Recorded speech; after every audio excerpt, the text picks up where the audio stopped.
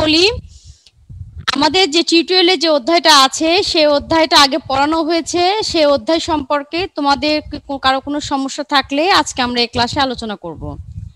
তোমাদের কারও কি কোনো সমস্যা আছে চতুর্থ অধ্যায় নিয়ে?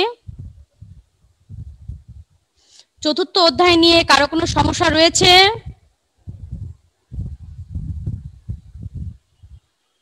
আচ্ছা সমস্যা আছে?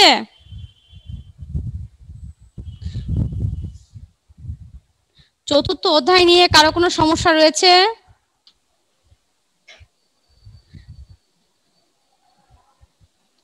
শান্ত। অপূর্ব। ইয়েস মিস কোনো সমস্যা রয়েছে চতুর্থ অধ্যায় নিয়ে? মিস কোনো প্রশ্ন আছে?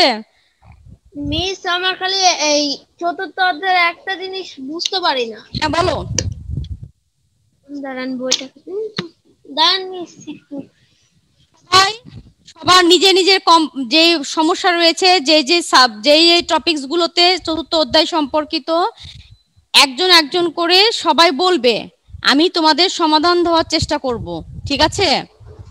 আমরা আমাদের মিস হ্যাঁ বলো। চতুর্থ অধ্যায় কি সমস্যা রয়েছে একটু বলো।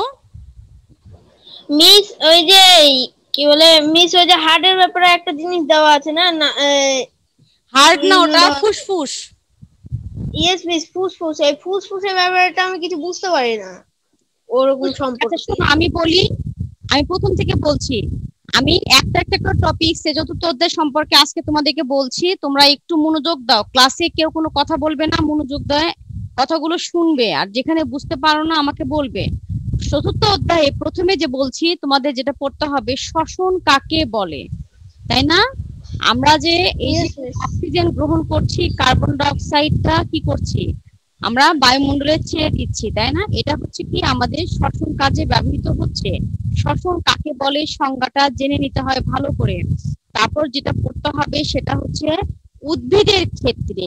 যে উদ্ভিদের ক্ষেত্রে শ্বসন অঙ্গটা কি? কোন কোন অঙ্গ পত্ররন্ধ্র ল্যান্টিসেলের মাধ্যমে শ্বসন কার্য উদ্ভিদে চলে, তাই না? আমাদের ক্ষেত্রে নির্দিষ্ট শ্বসন অঙ্গ আমাদের রয়েছে। তারপর যেটা জানতে হবে, কতগুলো প্রাণী? যেমন হচ্ছে ধরো মাছ শ্বসন কার্য চালায় কিসের মাধ্যমে? ফুলকার মাধ্যমে। ব্যাঙাচি।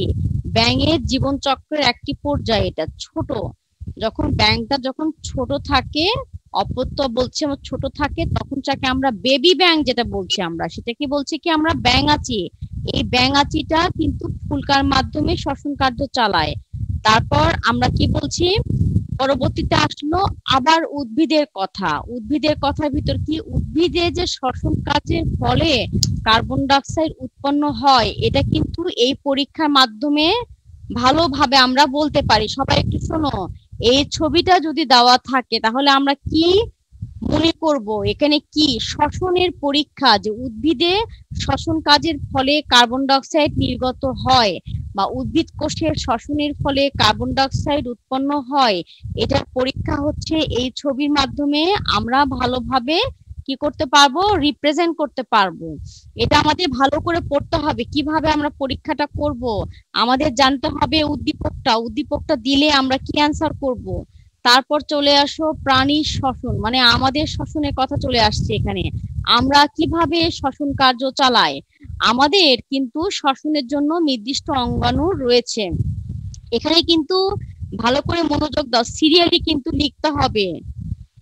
ঠিক আছে? সিরিয়ালি লিখতে হবে নাসারন্ধ্রের পরে নাসা গলবিল, তারপরে ষড়যন্ত্র, তারপরে রয়েছে শ্বাসনালী বা ট্রাকিয়া ক্রোম শাখা ব্রঙ্কাস, তারপরে ফুসফুস, তারপরে মধ্যচ্ছেদা। অঙ্গটা সুন্দরভাবে সিরিয়ালি কিন্তু লিখতে হবে। আর এখান থেকে যেটা জানতে হবে, প্রত্যেকটা অংশের কাজ নাসারন্ধ্র দিয়ে কি হয়, তারপর গলবিলে কি হয় নাসা গলবিলে কি হয়, ষড়যন্ত্র কি কাজ করে, ষড়যন্ত্রের কি বৈশিষ্ট্য, প্রত্যেকটা ভালো করে জানতে হবে। আর অপূর্ব বলল, অপূর্ব এটা বুঝতে পারছে না। এই যে আমাদের যে, অপূর্ব একটু মনোযোগ দাও, আমাদের যে শ্বসন অঙ্গের কথা আমি একটু আগে বললাম যে প্রাণীর শ্বসন অঙ্গ রয়েছে, কয়েকটি অংশ নিয়ে শ্বসন অঙ্গটা তোমার তৈরি হয়েছে। এর মধ্যে এই শ্বসন অঙ্গগুলোর মধ্যে দেখো, সব কয়টা মিলেই কিন্তু আমাদের শ্বসন তন্ত্র, তাই না? এই শ্বসন তন্ত্রের ভিতর সবচেয়ে গুরুত্বপূর্ণ মেইন অংশই হচ্ছে আমাদের এই ফুসফুস। আমি কিন্তু ক্লাসে কিন্তু ফুসফুসটা দাগিয়ে দেখিয়েছিলাম। যদি এই ছবিটা যদি দেওয়া থাকে, তাহলে আমাদের কি করতে হবে? ভালো করে দেখো কোনটা কোন অংশ, ভালো করে চিনতে হবে কিন্তু এ বি সি করে পরীক্ষা যদি দেওয়া থাকে, তাহলে তখন কিন্তু কখনো কখনো থাকে যে অংশগুলোর নাম লিখো।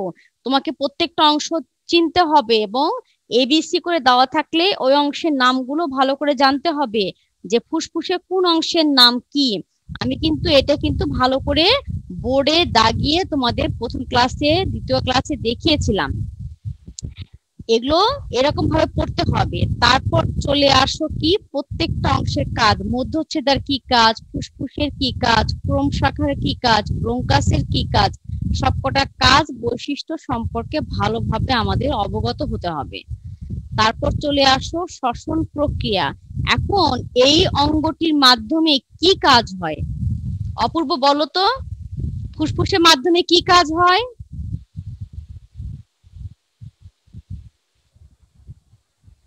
অপূর্ব। ফুসফুসের মাধ্যমে কি কাজ হয়? আমাদের কি হয়? ফুসফুসের মাধ্যমে কি হয়? আমাকে বলো। অপূর্ব, ফুসফুসের মাধ্যমে শ্বসন ক্রিয়া সম্পন্ন করি, তাই না আমরা? কিন্তু জিনিসটা কীভাবে হয়? এখানে দেখো, শ্বসন পদ্ধতিটাকে আমরা দুটো ভাগে ভাগ করেছি। কি করা হয়েছে? বহিঃশ্বসন একটা, অন্তঃশ্বসন। বহিঃশ্বসনটা কি? আমরা যে অক্সিজেন গ্রহণ করছি, তারপর শ্বসন ক্রিয়া চলল, তারপরে আমাদের, আর অন্ত, আমাদের হচ্ছে শ্বসন, এই বহিঃশ্বসনে একটা পর্যায়ে কি? আমরা কি করছি? প্রশ্বাস গ্রহণ। সে প্রশ্বাস গ্রহণ একটা করছি, নিঃশ্বাস ত্যাগ। বহিঃশ্বাসনের দুটো পর্যায়ে, প্রশ্বাস গ্রহণ, নিঃশ্বাস ত্যাগ। কিন্তু কথা হচ্ছে, অক্সিজেন যখন গ্রহণ করছি, তারপরেই কিন্তু সে গৃহীত অক্সিজেনটা অন্তঃশ্বসন পর্যায়ে চলে যাচ্ছে। অন্তঃশ্বসন পর্যায়ে হওয়ার পর আবার কি হচ্ছে? কার্বন ডাইঅক্সাইড উৎপন্ন হচ্ছে, সেটা আবার বাইরে নির্গত হচ্ছে। এটা আবার বহিঃশ্বসন। শ্বসনের দুটো পর্যায়ে অন্তঃশ্বসন আর বহিঃশ্বসন। বহিঃশ্বসনকে আমরা আবার দুটো ভাগে ভাগ করেছি। প্রশ্বাস গ্রহণ, নিঃশ্বাস ত্যাগ। এখানে তোমাদের এই জিনিসগুলো ভালো করে জানতে হবে। কখন মধ্যচ্ছেদা সংকুচিত হচ্ছে, কখন মধ্যচ্ছেদা প্রসারিত হচ্ছে, কখন ফুসফুস সংকুচিত হচ্ছে, কখন ফুসফুস প্রসারিত হচ্ছে, এগুলো ভালোভাবে তোমাদের জানতে হবে। এমসিকিউ এ কিন্তু জিনিসগুলোর ভিতর থেকে খুব ডিপলি প্রশ্ন হবে যে দেখা যাবে, লেখা থাকল, ফুসফুসের আকার কখন ছোট হয়, যখন কি হয় ফুসফুসের আকার তখনই ছোট হবে যখন অক্সিজেনটা কি হয়? প্রতিটি কোষে চলে যায়। আবার যখন ফুসফুসের আকার যখন বড় হয়, মধ্যচ্ছেদা তখন কেমন হয়? মধ্যচ্ছেদা তখন সংকুচিত হয়। আর মধ্যচ্ছেদা সংকুচিত হলে কি হবে? প্রসারিত হলে কি হবে? এখান থেকে ভালোভাবে তোমাদের জানতে হবে। প্রত্যেকটা লাইন বাই লাইন পড়তে হবে। তা না হলে কিন্তু এমসিকিউ অ্যান্সার করতে পারবে না। আচ্ছা তারপর চলে আসো দেখো, এই যে এখানে বিভিন্ন রোগ সম্পর্কে জানতে হবে। এই যে রোগগুলো, এখানে দেওয়া আছে যক্ষা, কিসের মাধ্যমে হয়? যক্ষা রোগটার লক্ষণগুলো জানতে হবে। আমি বলে দিই, রোগ থেকে কি কি পড়তে হবে? রোগ থেকে রোগ। রোগ থেকে আমাদের যেটা পড়তে হবে কি? প্রথমে যেটা পড়তে হবে সেটা কি? লক্ষণ। লক্ষণটা কি? রোগের রোগের ক্ষেত্রে পড়তে হবে, লক্ষণ পড়তে হবে, তারপর পড়তে হবে কি? কারণ। কারণ জানতে হবে আমাদের, রোগের কারণটা কি? আর জানতে হবে প্রতিকার। প্রতিকার। আমরা কীভাবে রোগটা থেকে মুক্তি পেতে পারি? এই কয়টা জিনিস প্রত্যেকটা রোগ সম্পর্কে জানতে হবে। যে কয়টা জিনিস প্রতিটি রোগ সম্পর্কে জানতে হবে, তা না হলে কিন্তু অ্যান্সার করা যাবে না। ওখানে বলে দিল একটা রোগে তোমার বইতে যেরকম ভাবে আছে, একজন ব্যক্তির নাম দিয়ে বলে দিল যে তার এই এই সমস্যা হচ্ছে, এই এই লক্ষণ দেখা দিচ্ছে। তারপর তোমাকে প্রশ্ন করা হবে যে লেখা থাকল ওখানে যে আরিফ সাহেবের বুকে প্রচণ্ড ব্যথা তার কাশি, দীর্ঘদিন ধরে তার কাশি, এরকম ভাবে বিভিন্ন ভাবে মানে মোট কথা মনে করো, ধরে নাও তোমার যক্ষার কোনো দুই, তিনটে লক্ষণ দেওয়া থাকল ওখানে। তোমাকে সেজন্য ওই আরিফ সাহেবের কি হয়েছে, ভালো করে পড়তে হবে, লক্ষণগুলো ভালো করে দেখতে হবে, কোন রোগের সঙ্গে লক্ষণটা মেলে। তখন বলতে হবে কি, আরিফ সাহেবের এই রোগটা হয়েছে, এই রোগের কারণ হচ্ছে এটা, প্রতিকার হচ্ছে এটা। এরকম ভাবে প্রত্যেকটা রোগ সম্পর্কে ভালোভাবে জানতে হবে।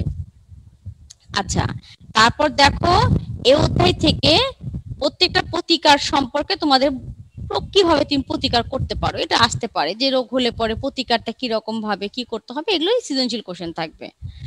আচ্ছা তাহলে এ অধ্যায় থেকে কি আর কারও কোনো সমস্যা রয়েছে? এ অধ্যায়ে কি আর কারও কোনো সমস্যা রয়েছে? নো মিস আচ্ছা তাহলে আমরা এবার আমাদের যে অধ্যায়টা সম্পর্কে আমরা পড়াশোনা করছিলাম, ওখানে কিন্তু একটা জিনিস কিন্তু আমাদের কি আছে? বাকি আছে। সেটা নিয়ে আমরা একটু জেনে নিই। আমরা ওখানে কি আমরা আমাদের পড়া বাকি ছিল সেটা আমরা একটু জেনে নিই। দেখো, আমরা যে দশম অধ্যায়ে এই বিদ্যুৎ আর চুম্বক ঘটনা, চুম্বকের ঘটনা পড়েছি না? দশম অধ্যায়ে একটু সবাই একটু লক্ষ্য করো। দশম অধ্যায় সবই তো মোটামুটি আমাদের কিন্তু হয়েছে আমরা কিন্তু এই কিছু অংশ বাকি আছে। আগামী দিনে তোমরা একটা ক্লাস পাবে, সেখানেও তোমরা জানতে পারবে, অনেক কিছু জানতে পারবে। একটা জিনিস শুধু বাকি ছিল, সেটা কি? দশম অধ্যায়ের যে পৃথিবী চুম্বক ক্ষেত্র, এটা তোমাকে ব্যাখ্যা করতে হবে। আমি কি প্রশ্ন বললাম? আমি যে প্রশ্নটা বললাম, সেটা কি? যে পৃথিবী পৃথিবী, পৃথিবীর চৌম্বক ক্ষেত্র চৌম্বক ক্ষেত্র এটা তোমাকে কি করতে হবে? বিশ্লেষণ করতে হবে। কীভাবে করবে? এখন দেখো, আমার হাতে একটা চুম্বুক রয়েছে। আমি তোমাদেরকে একটু দেখাই।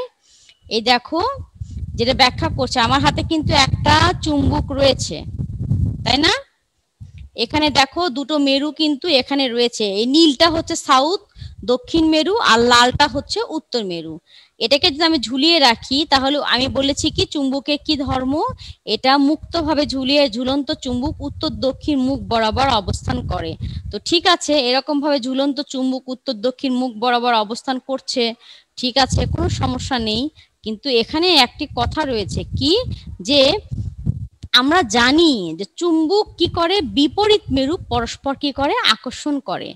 তো বিপরীত মেরু যদি আকর্ষণ করে এই কথাটি যদি সত্যি হয়ে থাকে, তাহলে পৃথিবী নিশ্চয় একটা চুম্বক ক্ষেত্র। পৃথিবী নিশ্চয় চুম্বক ক্ষেত্র, যার কারণে কি হচ্ছে?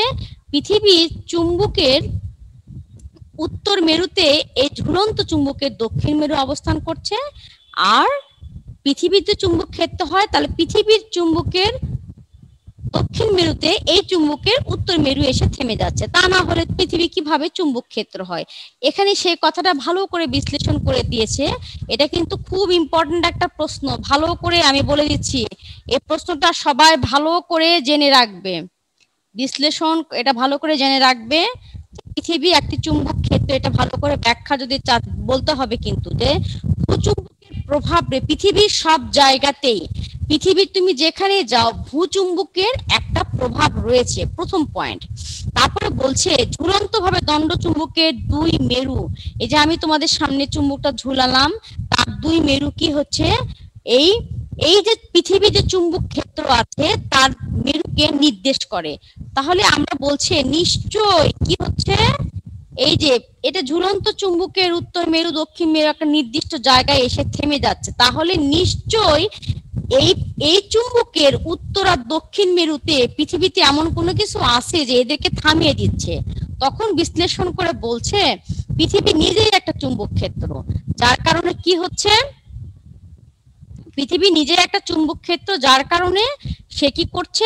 সে ঝুলন্ত চুম্বকের উত্তর মেরুকে ভূচুম্বকের দক্ষিণ মেরু বরাবর এসে থেমে যাচ্ছে। আবার ঝুলন্ত চুম্বকের দক্ষিণ মেরু ভূচুম্বকের উত্তর মেরু কাছে এসে থেমে যাচ্ছে, যার কারণে আমরা বলতেই পারি ঝুলন্ত চুম্বকের আচরণ থেকে আমরা বলতে পারি কি?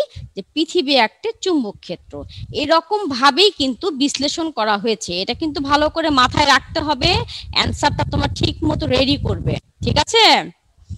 আচ্ছা আল সাবির আল সাবির ভালোভাবে ক্লাসে প্রতিদিন অ্যাটেন্ড করবা, পরীক্ষাগুলো ঠিক মতো দিবা। আর তোমরা তো জানো, তোমাদের খাতা, প্রশ্ন সব স্কুল থেকে দেওয়া হচ্ছে, তোমরা একটু এসে নিয়ে যাবে এগুলো। আচ্ছা এবার আমরা আসল কথায় আমাদের আসি। আমরা আসল কথায় আসি। এবার কি? যে পৃথিবীর চুম্বক ক্ষেত্র প্রশ্নটা আমরা এরকম ভাবে কিন্তু আমরা অ্যান্সার করব। এখন এই যে চুম্বক ক্ষেত্র দশম অধ্যায় থেকে তোমাদের কারও কোনো সমস্যা রয়েছে? দশম অধ্যায়ে পড়ানো হয়েছে কোনো সমস্যা রয়েছে কিনা বলো? আচ্ছা ঠিক আছে। তাহলে কারও কোনো সমস্যা নেই। তাহলে আমরা যে অধ্যায় গত দিনে করে বলো। বৈদ্যুতিক বাল্বটা ভালো করে বলো শুনতে পাচ্ছি না আমি তোমার কথা। মানে এর আরেক বৈদ্যুতিক বাল্বটা কীভাবে তৈরি তৈরি হয় বা কীভাবে কাজ করে সেটা বুঝাই লাগবে বুঝাই দিলে ভালো হবে। বৈদ্যুতিক বাল্ব কীভাবে কাজ করে এটা কি আছে তোমাদের? এসএস আছে। পাঠ সাত ও আট। পাঁচ সাত ও আট। আমার মনে হয় না এটা তোমাদের আছে। ওটা আছে যেটা সেটা বিদ্যুৎ প্রবাহ। তোমাদের যেটা আছে সেটা হলো বিদ্যুৎ প্রবাহ মানে ধাতুর বিদ্যুৎ পরিবাহিতা। তাই না?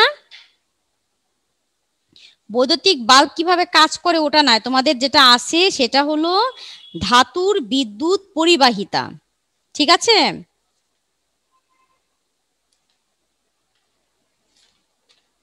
আচ্ছা। কোন অধ্যায় থেকে বলছো তুমি এটা?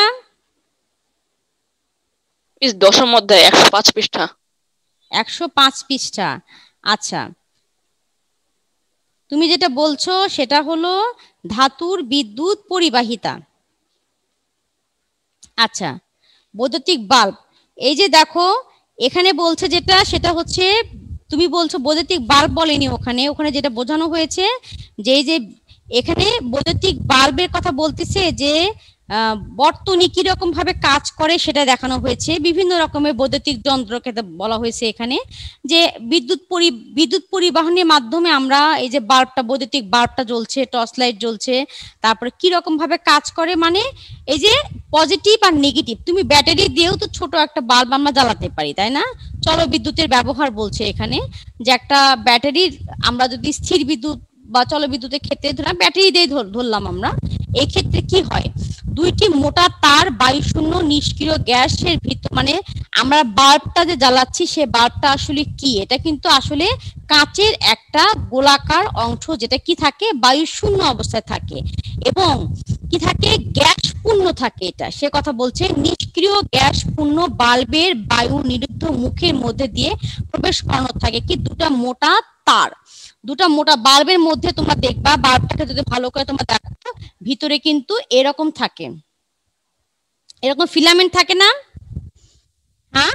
মোটা তার একটি বায়ু শূন্য এবং নিষ্ক্রিয় গ্যাস পূর্ণ। আমরা যদি বাল্বটাকে ভালো করে দেখি, বাল্বটা তো এরকম হয়ে থাকে সাধারণত। আমরা যদি বাল্বটাকে আঁকায় দাগাই তাহলে প্রথমে বলছে এটা যে কীরকম বাল্বের ভিতরে তারের দুই প্রান্তের সাথে দুটা টাংস্টেন তারের কুণ্ডলী থাকে। এই যে দুটি প্রান্তে, এই যে তারের প্রান্তে এই যে এরকম কুণ্ডলী থাকে। সেই তারপর কি করা থাকে এখানে? যে এটি, এটিকে ফিলামেন্ট বলা হয়। ফিলামেন্ট, বাল্বের মধ্যে আমরা ফিলামেন্ট কোনটা বলছি? যে ফিলামেন্টটা লাল হয়ে গেছে ফিলামেন্টটা হচ্ছে এই যে টাংস্টেন তার তারের তৈরি, টাংস্টেন একটা ধাতু বলছে বা আমরা মিশ্র ধাতু বলতে পারি এটাকে। এটা দ্বারা তৈরি থাকে এই বাল্বের মধ্যে ফিলামেন্টটা। তারপর কি করা থাকে এখানে? এই বাল্ব, এই বাল্বকে বিদ্যুৎ উৎসের সাথে সংযুক্ত দিলে। তুমি যদি এখন এটা আমাদের চলবিদ্যুতের সঙ্গে দেই বা ব্যাটারির সঙ্গে সংযুক্ত করি, তখন কি হবে? বিদ্যুৎ উৎস বলছে এখানে। তুমি যে কোনো একটা উৎসতে সংযুক্ত করতে পারব। ছোট বাল্ব হলে ব্যাটারি দিয়ে আমরা চালাতে পারব। আর বড় বাল্ব হলে তখন সেটা হচ্ছে ব্যাটারির ওই আমরা কষে পারব না, তখন আমাদেরকে চলবিদ্যুৎ দিতে হবে। তাপ উৎপন্ন হবে, ফিলামেন্টে প্রচুর তাপ উৎপন্ন করে এবং বাল্বের এই ফিলামেন্ট প্রজ্বলিত হয়ে আলো বিকিরণ করে। তারপরে কি হয় যে ওই কাঁচের ভিতরে এটা যখন আমরা বিদ্যুৎটা যখন এরকম বাল্বের ইয়েতে দেখবা দুটো এরকম ইয়া আছে। পয়েন্ট আছে। যখন এই তারের মাধ্যমে হোক, ব্যাটারির মাধ্যমে হোক, ব্যাটারি নেগেটিভ পজিটিভের মাধ্যমে হোক, তুমি যদি এটাকে যদি কি করো, সংযুক্ত করো, তাহলে দেখা যাবে কি ফিলামেন্টটা গরম হয়ে, লাল হয়ে জ্বলে উঠবে। আর সেই আলোটা কি হবে? এই যে কাঁচের একটা বাল্ব আছে, কাঁচের একটা ঘেরা, একটা বন্ধ জায়গা আছে, এর মধ্যে লাইটটা বেশ প্রজ্বলিত হবে। তখন আমরা এখান থেকে লাইট পাবো। মানে কীরকম ভাবে কাজ করছে, সেটাই এখানে দেখানো হচ্ছে। তাহলে গঠন প্রণালী, তারপর টর্চ লাইটের ক্ষেত্রে একই ঘটনা, টর্চ লাইটের মাথার কাছে কি করা হয়?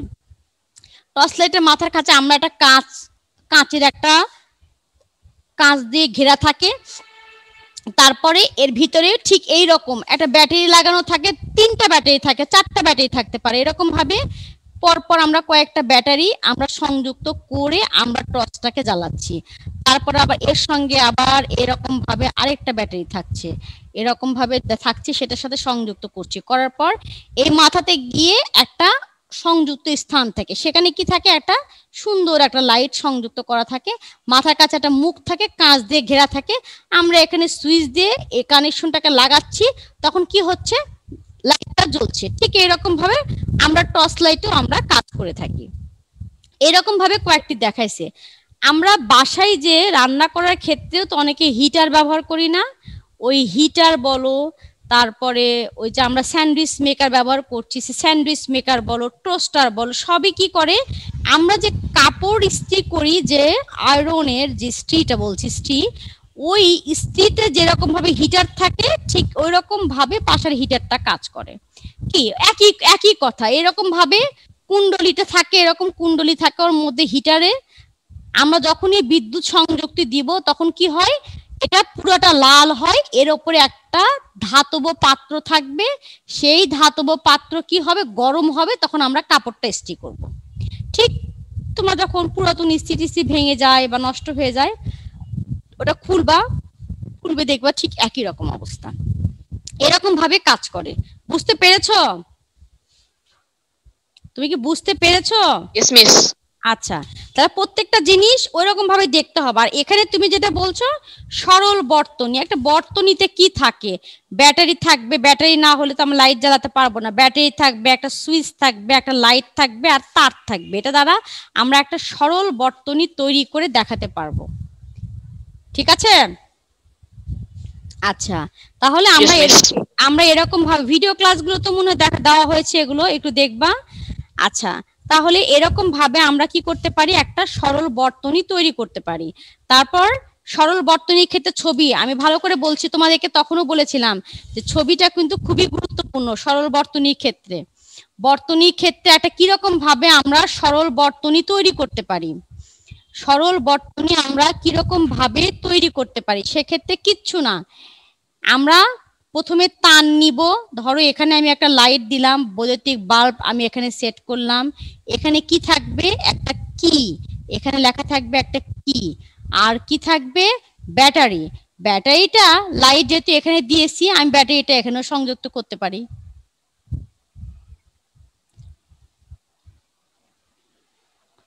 দেখো এটা কি তৈরি হয়ে গেল? এটার নাম কি বলো? এটার নাম কি? তুমি যে কোনো একটা জায়গাতে দিতে পারো। তুমি ব্যাটারি মনে করো না আমি ব্যাটারি এখানেই দিব। ব্যাটারি এখানে দিতে পারো। সরল বর্তনী। হ্যাঁ তুমি মনে করো যে না আমি লাইটটা এখানে দিব দিতে পারো। সংযুক্তি থাকলেই হবে। তুমি তো মনে করো না আমি ব্যাটারি আমি এখানে ব্যাটারি আমি এর কাছে ব্যাটারিটা দিয়ে দিব। বেশ ভালোভাবে তুমি এখানেও ব্যাটারিটা দিতে পারো। ব্যাটারি এখানে দিলে তাহলে এখানে কি করতে হবে? আমাদেরকে লাইটটা দিতে হবে। কিন্তু তিনটা জিনিস কিন্তু এই রকম ভাবেই সংযুক্ত থাকতে হবে। ব্যাটারির সঙ্গে এই যে কি মানে কি? সুইচ বা আমরা যেটা সংযুক্তি করছি, লাইট এই রকম ভাবে সংযুক্তি হতে হবে তার দ্বারা। তাহলে আমরা কি পাবো এটা? সরল বর্তনী। একটা সরল বর্তনী। পরবর্তী ক্লাসে তোমরা আরও দেখবে। সরল বর্তনীর মধ্যে সমান্তরাল বর্তনী প্যারালাল বর্তনী, অনেকগুলো বর্তনী আছে। আমরা সেগুলো সম্পর্কে পরবর্তীতে জানব। আজকে কারেন্টের খুব সমস্যা ছিল, যার কারণে তোমাদের ক্লাসটা শুরু হইতে একটু দেরি হয়েছে। সবকটা ক্লাসই দেরি হয়েছে আজকে শুরু করতে। আচ্ছা তাহলে আমরা কিন্তু এই জিনিসগুলো নিয়ে কিন্তু আজকে আলোচনা করলাম। এইটুকুর মধ্যে কি কারও কোনো সমস্যা রয়েছে? সমস্যা রয়েছে? আমরা কিন্তু তাহলে দশম অধ্যায়ে মোটামুটি আমরা যে জিনিসগুলো আমাদের খুবই গুরুত্বপূর্ণ সেগুলোও জেনেছি। সবই মোটা- মোটামুটি জেনেছি। তোমরা লাইন বাই লাইন পড়বা। আর পরীক্ষার আগে কারও কোনো সমস্যা থাকলে সেগুলো তোমরা আমাদেরকে ফোনে জানাবা হোয়াটসঅ্যাপে জানাবা যে আমাদের এটা এটা প্রবলেম রয়েছে। আমরা বারবার দেখে দেবো। সবাই পরীক্ষাগুলো অ্যাটেন্ড করার চেষ্টা করবা। ঠিক আছে? আচ্ছা। তাহলে এইটুকুর মধ্যে কারও সমস্যা রয়েছে কারও? সবাই তাহলে সুস্থ আচ্ছা সবাই তাহলে সুস্থ থাকো। সবাই ভালো থাকো। আল্লাহ হাফেজ।